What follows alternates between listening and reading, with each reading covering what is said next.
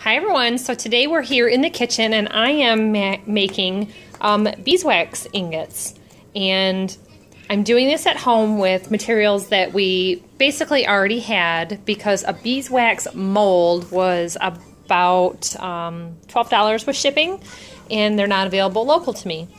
Uh, we found these, it is a silicone ice tray and I found these at Meijer's for $1.99 a piece.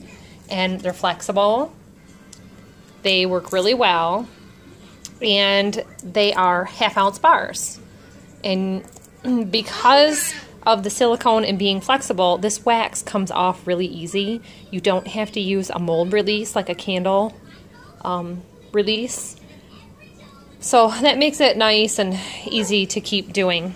Um, I'm using my regular crock pot, but I am uh, using it with a liner you can use the slow cooker liners. Um, I actually was out, so I used a turkey um, liner from Thanksgiving because they always come in a two pack, so I had an extra.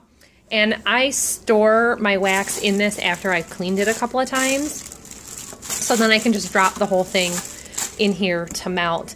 It's really unmanageable to have a whole clump of wax.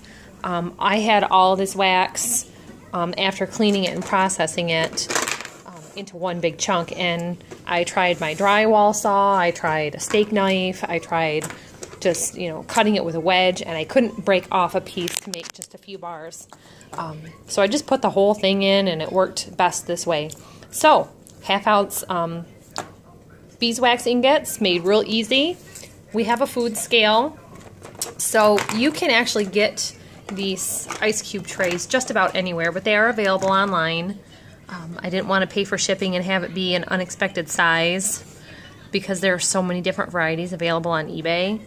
Um, so after I made one tray of them, I use my food scale and you zero it out and you can weigh it uh, to find out how much it costs. Sorry about my mess on the counter. We've got lots of projects going on right now.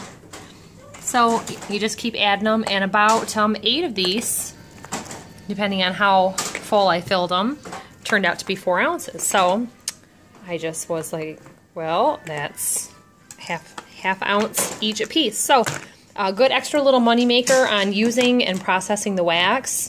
Um, a lot of people need it for making uh, chapstick, soaps, and lotions. And this is a good way to use that up. So thanks for watching, everybody. We'll see you on YouTube next time. As always, ask questions, like and subscribe, and we'll always answer your questions the best we can. Bye-bye.